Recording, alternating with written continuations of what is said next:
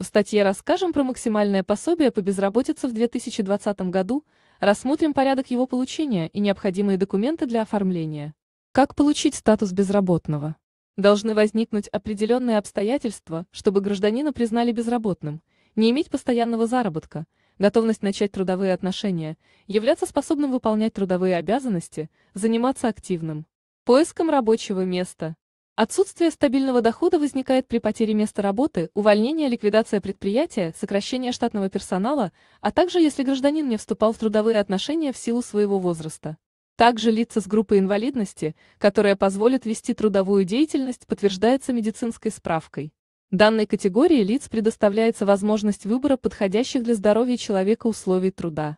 В соответствии с порядком лицам, потерявшим или не имевшим работы, следует обратиться в районный отдел Центра занятости, где в течение 10 дней рассматривается заявление и на 11 день выносится решение о получении статуса безработного.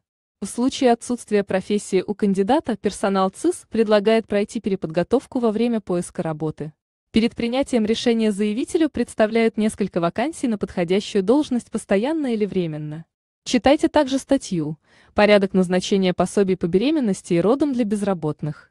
Какие пособия получает безработный? Лицо, достигшее 16-летнего возраста, не имеющее постоянного дохода, признается безработным в порядке, который установлен СТ 31П1 Закона РФ о занятости населения номер 1032-1 от 19 апреля 1991 года. Пройдя процедуру регистрации в Центре занятости, гражданин одновременно получает право на выплату пособия как безработному. Кандидат вправе получать пособие ежемесячно на протяжении года, при этом он обязан проходить процедуру обязательной перерегистрации. Для этого требуется каждые две недели посещать ЦИС, предъявляя паспорт и трудовую книжку «Оригинал». Максимально допустимый период выплаты пособия безработному может продлиться до двух лет, если гражданин уволен при сокращении персонала или в момент ликвидации предприятия, когда до пенсионного возраста остается два и менее года. При этом у гражданина может не быть возможности работать. Величина пособия определяется в зависимости от того, как долго числится на учете безработный и какой доход имелся на последнем месте работы. Особые обстоятельства, при которых начисляется пособие – Длительный перерыв стажа один год, начисляется минимальный тариф плюс районный коэффициент первичный поиск работы увольнение за нарушение трудового распорядка, когда начинается. Выплата пособия. Поступление денежных средств безработному начинаются только после официальной регистрации в ЦИС и подтверждения статуса.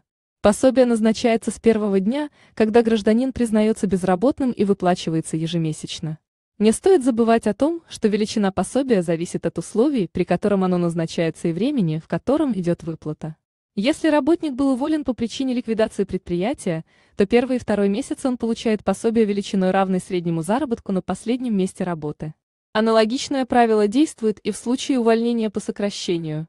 Чтобы получить пособие в размер среднего заработка и за третий месяц, гражданину надлежит встать в ЦИС на учет, пока не истекут две недели после даты прекращения трудовых отношений. Читайте также статью «Порядок оформления пособия по безработице сиротам».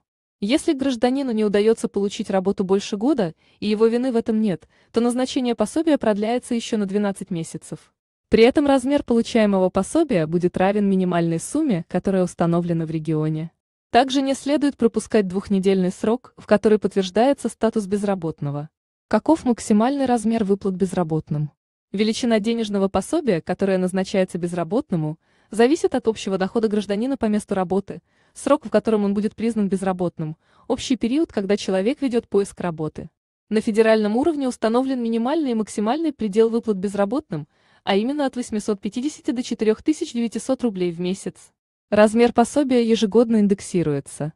Регионы вправе устанавливать свой размер пособия в зависимости от возможностей местного бюджета. В зависимости от территориального расположения к сумме приплюсовываются районные коэффициенты Крайнего Севера. Пособие в минимальной сумме 850 рублей плюс соответствующие надбавки назначается лицам, не имеющим трудового стажа, работники, которые не трудились год и более, уволенные по статье за нарушение трудовой дисциплины, гражданин в возрасте. 16 лет. Как назначается и выплачивается максимальный размер пособия работникам со стажем и доходом – Первые три месяца после прикрепления к ЦИС 75% от среднего заработка. За последующие 4 месяца пособие составит 60%, начиная с восьмого месяца. 45% от суммы среднего заработка. По истечении 12 месяцев, если кандидат не нашел работу, ему полагается минимальная сумма пособия по безработице. Перечень документов, которые предъявляют безработные. Соблюдая сроки и правила получения статуса безработного, потребуется и документальное оформление процедуры. Основной пакет документации кандидата зависит от наличия трудовых отношений в прошлом и состоит из впервые ищущих работу у работавших граждан паспорт, удостоверение личности, свидетельство о рождении, военный билет, документ о среднем. Образование диплом о профессиональном образовании ин трудовая книжка оригинал, СНИЛ справка о доходах 2 НДФЛ, банковские реквизиты, справка о среднем заработке по форме 182 Н прочие документы, подтверждающие наличие квалификации. Реквизиты платежной карты или счета заявителя важно. Обратите внимание на порядок заполнения трудовых документов и справок о доходах. Чаще всего забывают указать контактный номер бухгалтерии или отдела кадров, а также поставить печать в трудовой книжке. Справки о доходах не должны датироваться прошедшей датой. Чтобы получать пособие в полном объеме числа, должны совпадать с днем увольнения работников. Подписи ответственных лиц также должны заверяться печатью предприятия и иметь расшифровку. Читайте также статью «Сроки и размеры выплат пособий по безработице». Кто выплачивает пособие нетрудоустроенным гражданам? В случае потери рабочего места гражданину следует обратиться в Государственный центр занятости населения по месту официальной регистрации. Сотрудники проверяют перечень и правильность заполнения трудовых документов и регистрируют гражданина в качестве безработного. Следующий шаг – непосредственный поиск работы для кандидата. Работник заполняет заявление, образец которого предоставляется сотрудниками центра, указывает свои личные данные, профессиональные навыки и стаж работы в должности. В соответствии с заявленными требованиями и возможностями кандидату предлагается несколько вариантов вакансий. Основной целью сотрудников сокращение срока пребывания заявителя безработным и, соответственно, выплаты ему денежного пособия. Формула, по которой ведется расчет пособия безработным гражданам. Доход за три месяца предшествующих увольнению равен 15 тысяч рублей. При условии, что кандидат зарегистрирован в установленные порядком сроки, ему полагается 75% от суммы, а именно 15000 умножить на 75% равно 11250 рублей. Если в регионе нет дополнительных надбавок, то размер выплат составит 4900 рублей ежемесячно. В случае отказа выплаты пособия безработным. По законодательству, которое регулирует права и обязанности граждан, оставшихся без работы, определены условия, при которых в статусе безработного может быть отказано. В частности, статус теряется, когда не соблюден порядок подтверждения зарегистрированного лица, пропущен день посещения центра для перерегистрации, отказ выполнять действия по поиску вакансий, неявка без уважительных причин в течение 10 дней после подачи заявки. Не получают пособия по безработице лица, которые заняты на исправительных работах или осуждены, подав в ЦИС заведомо ложную информацию о своем состоянии. Прекращается выплата пособия безработным при их трудоустройстве, выходу на пенсию и назначении пенсионных выплат, переезде лица в другой регион – прекращение обучения в одностороннем порядке на курсах переподготовки, наступлении, отпуска по беременности и родам, получении повестки на службу в армию. Допускается прекращение выплаты пособия, если кандидат посетил центр в состоянии наркотического или алкогольного опьянения. В этом случае сотрудниками ЦИС совместно с медицинскими работниками проводится освидетельствование и составляется письменное заключение о происшествии. Распространенные вопросы и ответы. Вопрос номер один. Разрешается ли сотрудникам ЦИС снижать размер пособия гражданам? Если вопреки требованиям работников безработный не явился на собеседование к потенциальному работодателю, нарушил сроки перерегистрации безработного, прекратили или отказались обучаться на занятиях по получению профессии без уважительных причин, то сумма пособия сокращается на 25% от установленной изначально. Вопрос номер два. После постановки на учет в ЦИС работница обратилась по месту жительства в соцзащиту за пособием при нахождении в отпуске по беременности. Как это повлияет на статус безработной и пособия?